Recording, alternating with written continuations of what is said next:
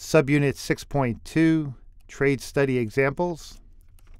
Okay, let's go through a very complex trade study. So a lot of trade studies you might do would be very simple, right? You're trying to pick between two, um, two different things that you could use to perform a function, say two different types of gyroscopes, and they, two different companies build them, and you want to make a selection, you do a trade study. Well, that's a fairly straightforward trade study. Let's look at one that has a lot more subtleties and layers to it and kind of bring out some of the things about how trade study is done. So um, what you see here is some folks walking around on Mars. And uh, this has been a goal of NASA and many other space agencies for a lot of years, right? So um, robots have gone to Mars, some have gotten into orbit, some uh, landed on the surface, some have even roved on the surface at this point. They've always gone on one-way trips. Uh, one's never come back and brought samples back or anything else.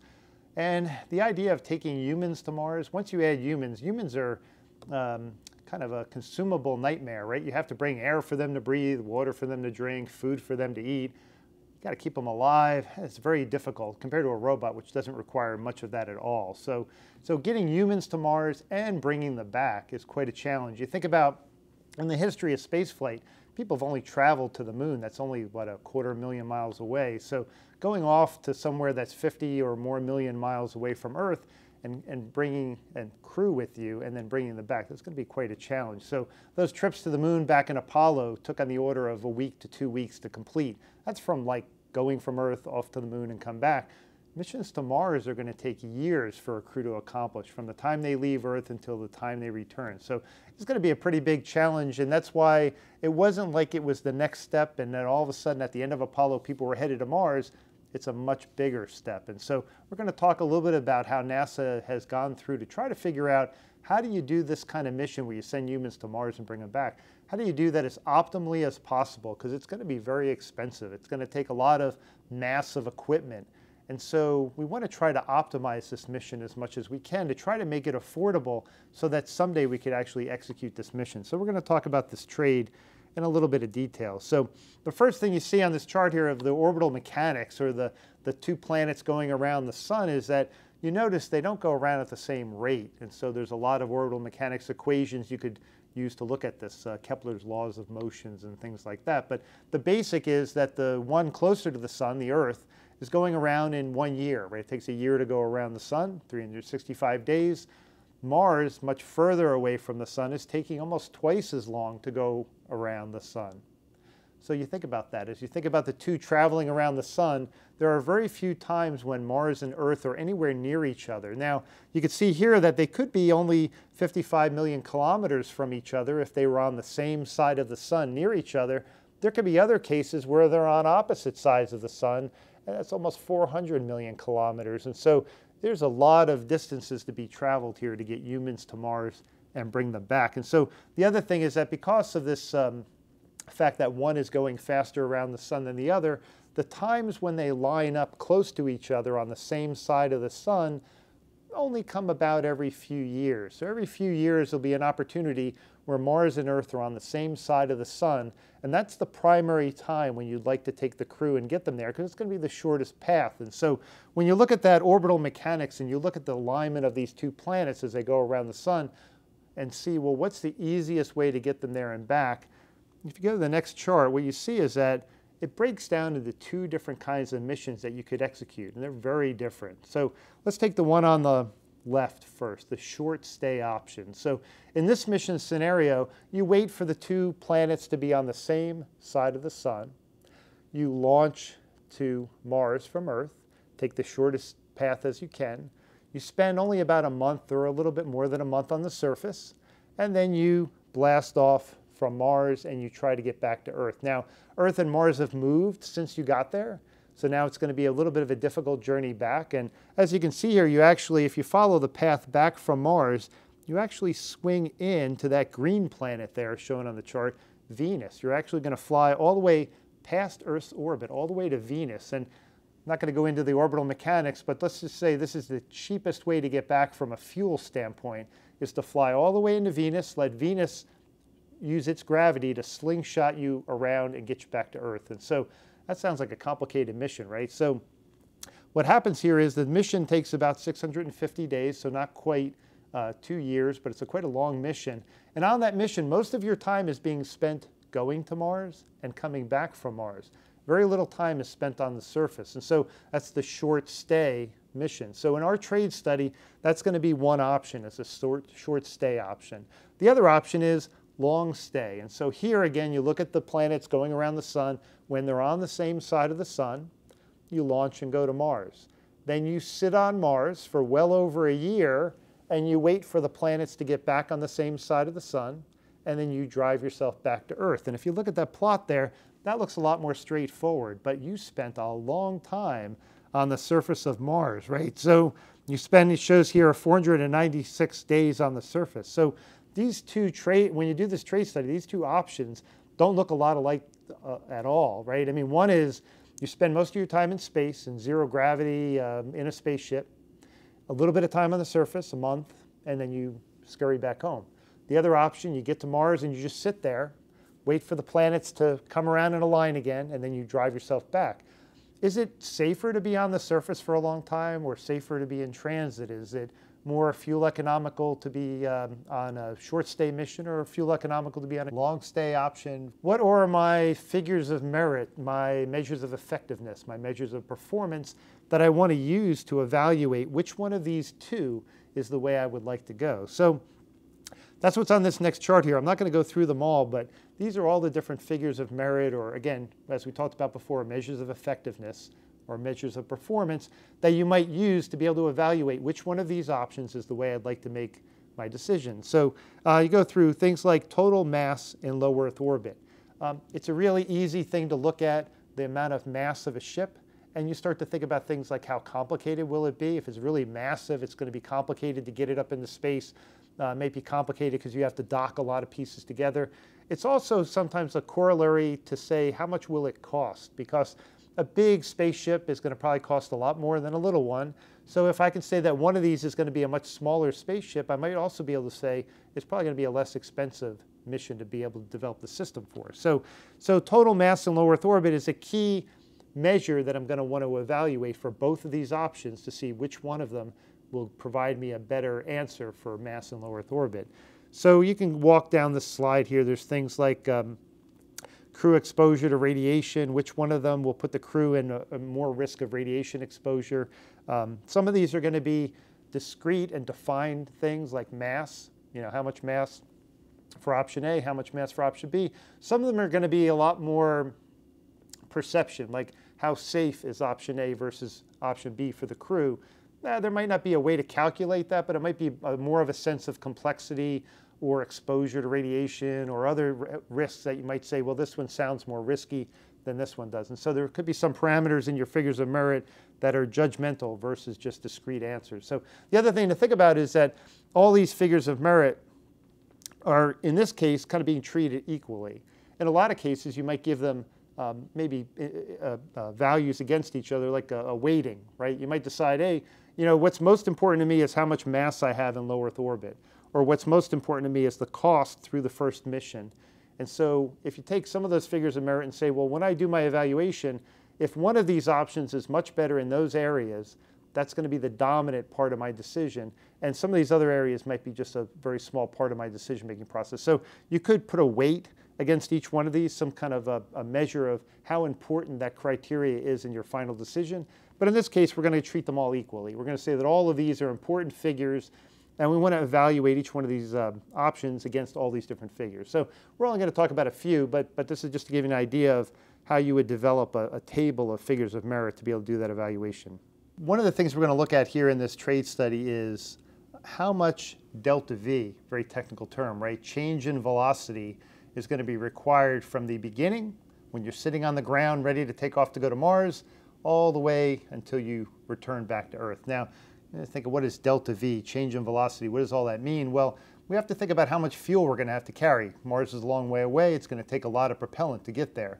Well, we want to know is a short stay mission or a long stay mission going to be better when it comes to propellant? Is it going to take less fuel? So one of the easiest ways, we don't know what kind of rockets we're going to use yet when we do these trade studies sometimes. So we're at a very high level. So first, if we know how much acceleration is required to go from Earth to Mars, and how much acceleration to go from Mars to Earth, that's going to help us understand how much fuel. It's kind of like you're going to leave your house and go to the store, right? You're going to get in the car, you're going to accelerate, get out on the highway, you're going to decelerate when you get to the grocery store. On the way back, you're going to do the same thing. Now, in a car, you got to keep your foot down on the accelerator burning gas because you have road resistance, you have air resistance. But think about this in space, right? You leave Earth, you give yourself a push to accelerate with some rocket engines. Once you've accelerated to the right speed, you just coast all the way to Mars. There's nothing to slow you down. But unlike on Earth, you can't just step on the brakes when you get there. You have to actually turn around, fire the rocket the other way to slow down enough that you can go into orbit or you just go flying past Mars. And so same thing's going to happen on the way back. And so that change in velocity or acceleration that's required at the beginning to get going, to stop at Mars, the deceleration, and then the acceleration to get going, and then the deceleration to get yourself back to Earth, those are all going to take fuel. And so this is an easy way to look at the amount of fuel that might be required, even before you know what kind of rockets you're going to use, is which one of these options is going to require more change in velocity from the beginning of the mission to the end of the mission. So what you see here is up on the uh, top side, you see the long stay missions. And so um, you see the amount of fuel required to go to Mars on the bottom. You see the amount of fuel required to come back from Mars on the top. And then you see that one other bar that says mid-course corrections or whatever, deep space corrections. It's just a, a, time when you might need to steer a little bit along the way, and so you need to fire some rockets to steer yourself to make sure you get to your destination. So all of those fuel requirements add up. And so you can see that the bar here in delta V or kilometers per second of acceleration on the uh, y-axis just says that for all these different Mars missions that are long stay in nature, where you're going to have a long over a year on the surface, these different opportunities. And remember, we talked about that only every couple years do the Earth and Mars line up where you can actually go to Mars. So that's why you see a bar in 20, you know, uh, 2031 or so, 2033, is that there's not an opportunity to leave for Mars whenever you want to. There are specific times. And this repeating cycle where they're close to each other they're not always in the exact same position relative to each other. So sometimes you're going to need a little bit more gas. Sometimes you're going to need a little less gas, depending on which specific opportunity we're talking about. And scientists have predicted for many, many years out into the future where the planets will be aligned on any one of these given opportunities. So you can do this analysis of how much change in acceleration would be required, change in velocity would be required for any one of these specific opportunities. So what you can see here is for all the long stay missions, the amount of acceleration is somewhere in the, what, six to eight kilometers per second. That's all of the changes that'll have to happen throughout the mission, all added up together, right? Well, and you can see that from opportunity to opportunity, there's not a big change. Although when you get out here in the 2040s, there's a little bit of a hump. And so you got to think about that. If I'm going to design a system to go to Mars, to take crew to Mars, I'm probably not going to design it for one mission and one opportunity. I want to be able to use it again and again and again. So that's why I'm doing this plot, not just for one opportunity, but I'm looking out across time at many opportunities to try to figure out if there's, um, you know, sometimes when the acceleration is going to be a lot more than in other times because my fuel tank is going to have to accommodate probably the worst case scenario, unless I want to say, well, gee, I'm just not going to fly in that one opportunity. But then you're going to have to wait four years to go back to Mars, and you might, might not be willing to do that. So, so we've kind of laid it out here, and so that's the, um, the long stay options. And then if you go down to the lower part of the graph, you see the same kind of chart for the short stay options. And again, you see, well, how much change in acceleration does it take to go to Mars for each one of these opportunities? How much does it take to come back?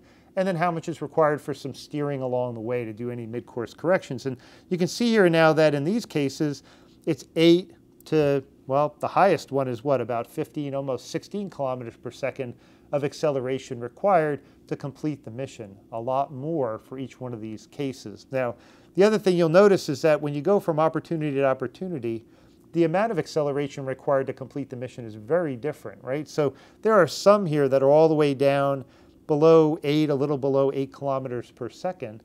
But then there are these others that go up to 11, 12, 14, 15 kilometers per second. And so, again, if I want to build a system to be able to go back and forth to Mars and use it again and again, or maybe build another copy of it, my fuel tank is going to have to be a lot bigger for some of these opportunities than for others. And I have to kind of think about that. Because if I say, well, I'm just not going to go when there's these um, these parts where maybe the planets aren't aligned very well, so it's going to take a lot of acceleration to get home. well, gee, that's taking out a number of opportunities. And so I might not only be able to fly to Mars every five or 10 or 15 years if I take out the ones that have the higher requirements. So this was a good part to do. This, this analysis is really helping me understand what's um, a better mission to fly? Should I go with a long stay or a short stay? But this is only from one very limited perspective. And that perspective is change in velocity, which is kind of equivalent to how much fuel I'm going to have to carry. So there's a lot of other things I want to keep in mind, not just how much fuel am I going to have to carry to complete the mission. So the other thing is these different opportunities, again, because of their planetary alignment, it's going to make the mission maybe longer or shorter depending on which one of those opportunities I fly on. So again, look at this chart here and you look in the upper right hand side and this, uh, this time it's mission duration on the y-axis and all those different opportunities to fly to Mars for a long stay mission. And you see the time it's going to take in red to go to Mars, the time in blue that you'll be on the surface, and then the time in beige up at the top is how long it's going to take to get home. And so you can see that from opportunity to opportunity, there's very little variation again. They're all about 900 days in duration, right? So if I'm going to build a system to support a crew for 900 days or so, I could pretty much fly whenever I would want to. I could choose any one of these opportunities. And so that might be one of my big constraints is if some of these um, options I can only fly at certain times, that might make this a less attractive option for me in my trade study. So the other thing you see noted on this slide is solar activity. Now the sun goes through a 12 year cycle where it gets uh, kind of quiet and then it ramps up. There are more solar flares. flares. You hear about that in the news.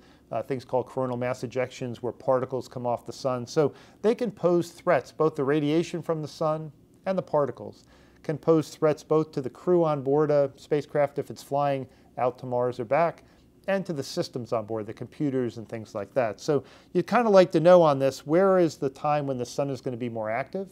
And then you could say, well, gee, if I have very long mission durations around that time, that might be really uh, unhealthy for the crew or dangerous for the systems to be flying for long durations during that period of time. So it's just something you want to keep in mind as you're doing this part of the trade study analysis. So if you look at the lower part of the chart, see a very similar plot for the short stay mission. So here you're looking at, for short stay missions, again, the time to go from Earth to Mars in red, the time on the surface above that, and then the time to return above that.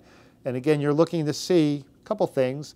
One is, is there a big variation between the length of time from beginning to end of the mission? And you see here there is. And because these options for short stay, most of your time is being spent in transit between planets, very little time on the surface. Now you do have to worry about that solar activity because the Mars atmosphere will protect you a little bit from radiation when you're on the surface. When you're flying between the two planets, you're exposed to that radiation. And remember, on some of these, all of these short stay options, you're going to have to fly in towards Venus to get home to Earth. Well, gee, if the sun's very active, I surely don't want to be flying right in its face to be able to get home. So again, this could be a very dangerous kind of situation when I combine the length of the mission that I'm spending in space, the time I'm in space, with the fact that the sun is going through active periods every 12 years, that might be a bad combination for short stay missions. So, um, so again, this is only looking at it from one perspective. So to complete this trade study, I'm looking at a number of different things that I can evaluate that I could then apply my measures of effectiveness and measures of performance and be able to say, hmm, which one of these is going to be my better option? So just two things here. I'm just showing you some examples of what you look at. Now, another big criteria we talked about before was how much mass has to be in Earth orbit to start the mission. So when I go to leave to go to Mars and I've got all my stuff in Earth orbit, how heavy is that vehicle? And that, that's going to give me an indication of how complex it's going to be to build this thing and how expensive this is probably going to be to, to, to, build. So, so to do that, you have to have some sense of an architecture. So we've talked about architecture before. Now, early on in the mission planning phases here, we're starting to develop some minimal ops concepts and architectures. And so to do this trade study, you can start to look at um, what are the vehicles required um, in this architecture, and that's going to start to allow you to evaluate how much mass is going to be required. We talked about delta V before. Once you take delta V and add what kind of propulsion system you're going to use, you can figure out how much propellant you need. So the mass of the vehicle, the mass of the propellant, you could add that together and get a um, kind of a sense of how much mass in orbit is going to be required to start this mission off. And so let's just look at two architectures and one, we'll look at the short stay first. And the goal in both architectures is to try to keep the architectures as similar as possible and only make changes that are related to the thing you're trading. Remember, we're trading short stay on the surface versus long stay.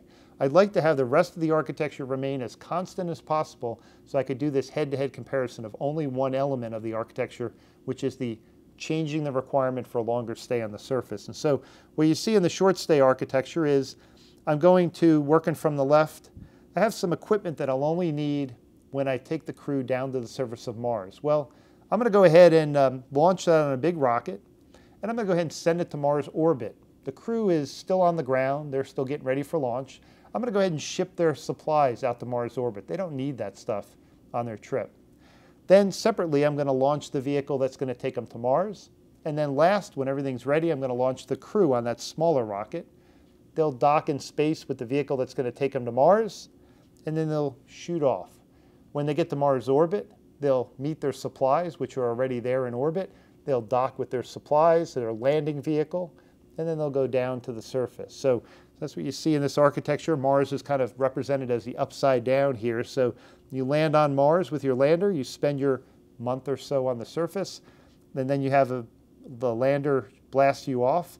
You dock in orbit with your return vehicle that's going to take you home, and then that takes you all the way home and you splash down in the ocean just like in the Apollo missions of, of the old days. So, so this gives you a sense of how much equipment is going to be needed from the beginning to the end of the mission to accomplish a short stay mission. So I can start to figure out, at least at a gross level, how much mass is going to be required for this mission in, in all these different components. So, so this basic architecture, this basic ops concept is going to really help me drive out my requirements for mass. So you flip to the next one and you look at the long stay mission architecture, it almost looks the same, right? And that's the goal. The goal is to try to keep all the other parameters the same except to say, how about if I stay on the surface for year, more than a year now, instead of just for a month. Well, in the original one, in the short stay um, option, when you landed, you're in a small lander. You have a small crew. They're going to live in the lander for a month. Okay, it's not going to be real comfortable. It's uh, going to be a little close quarters. But for a month, you can put up with uh, having a neighbor three elbows away, and you can survive and get yourself back. But if you're going to be on the surface for more than a year, not only do you need a little bit more room for the crew, but you also want to have more equipment because they're going to be able to go off and explore greater distances. They've got a lot of time.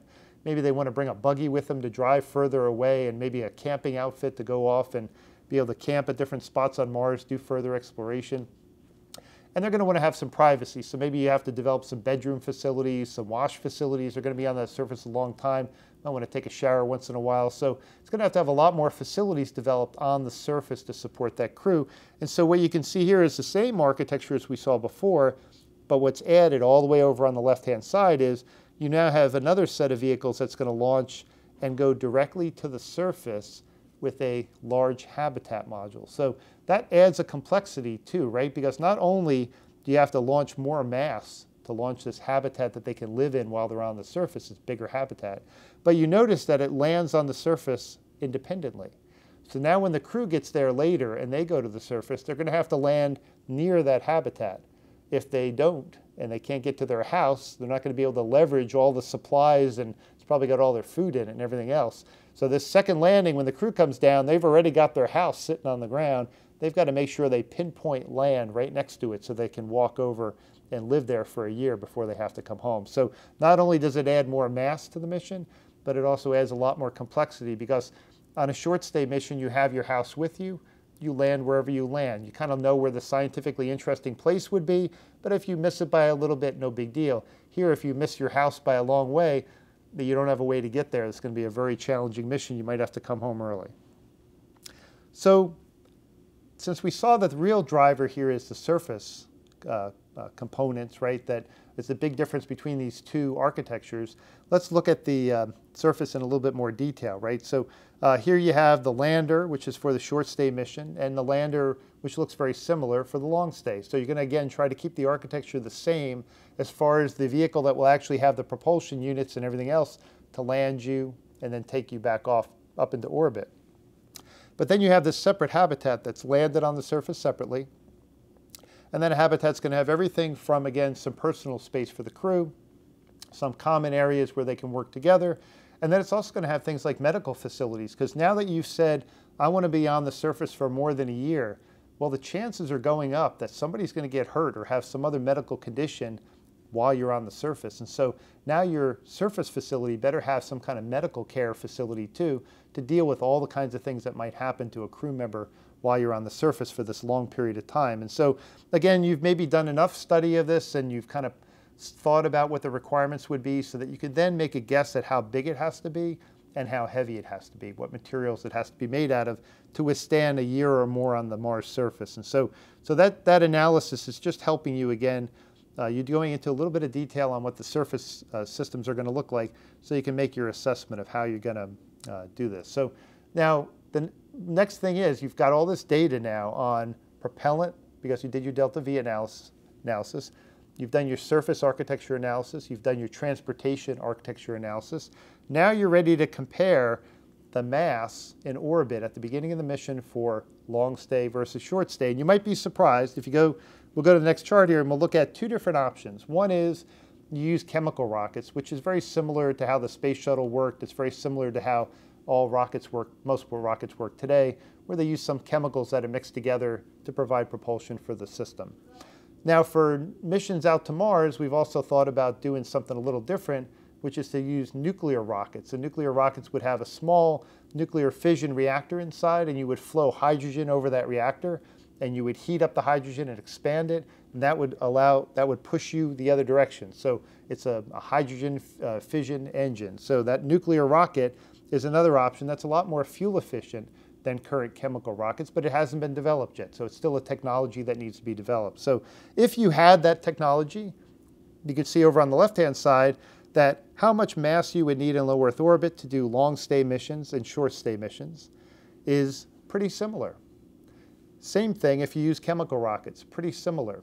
So you're not seeing a big differentiation. Now, you might have thought when you looked at that architecture and you saw the um, all the ground equipment you needed for the long stay, for that year-long stay on the surface, that, geez, that's probably going to make that a much heavier architecture than the other one. Well, no, not true, because the, uh, the trip, when you get on Mars and you stay on the surface until the planets come back into alignment, and then you come home, that's the lowest delta V. If you went back to that delta V discussion, that's the lowest amount of energy you need to get to Mars and come back from Mars. When you go for only a short time, you're going to need a lot of propellant to get home because you've got to take that shortcut in through Venus to get home. And so that's going to take a lot of propulsion. So what's happening is the advantages of the short stay mission and not having to have more surface architecture is outweighed in a lot of cases by the fact that you need more propellant to execute those missions. So, so what you see here is in the end, the mass in low Earth orbit is really not a good deciding factor between the two because it's pretty similar. And, and I don't know that that would have been intuitive when you first started doing the trade study. So we'll finish up this option or this uh, set of options in this trade study by looking at, uh, I'm not going to go through again all of them, but this is what the team at NASA came up with for a comparison of short stay versus long stay missions. And you can see they've highlighted in green areas where they thought there was a significant advantage to one or the other. And so when it comes to things like the total mass in low Earth orbit, they said, well, gee, it's pretty similar. So I don't know that I would make a decision on one or the other based on that. Um, but there are things like the complexity and the size of some of the vehicles because of the changes in propulsion. Uh, they said, boy, you know, I think the long stay, the propulsion, the um, actual vehicles taking you back and forth would be a lot simpler to build. There's a lot less propellant. There's a lot, a smaller vehicle would be adequate. And so there's actually a big advantage to the, the transportation part of this by going with long stay missions. So um, things like expected useful crew time, a sol being a Mars day, it's about 24 and a half hours, so a little longer than a uh, Earth day. But so the time it takes to spin on its axis. And so, you know, so here you said, well, gee, of course, if I'm going to be on the surface for way over a year, I have a lot more productive time where the crew could be out doing scientific research. So from a scientist standpoint, I'd say, Whoa, boy, you know, long stay sounds great to me because I can get a lot more research done. So and you can kind of go through all of these different factors here and just see that in the end, at least in this set of trades and in this uh, option analysis, it looks like the long surface stay missions might be the best ones. But now, now let's stand back away from that for a second. So these tools are always a way to help in decision making, right? So it gives you a lot of information to help make a decision. You saw that you do a lot of very detailed technical analyses to help drive this decision process. But in the end, you have to use kind of human ingenuity, you know, human uh, thought too, is that maybe in the end it's better to go with a short stay mission because I'm a little worried about the crew being on a 900 day mission away from Earth and all of the risks that can come up with a long mission like that. And so maybe overriding all of this is the fact that I just don't want to have the crew be away from Earth for that long. So, so that's the thing about this is it really, really tries to drive out what are the differences between the two options and a trade study tries to then give you as a decision maker the information to help make a decision. But in the end, it's really never a, you know, a, a perfect analysis. It's always something that you're going to have to add a little bit of your own analysis on top of that to say which one do I think is really the way to go in this trade. There are no additional resources for this subunit.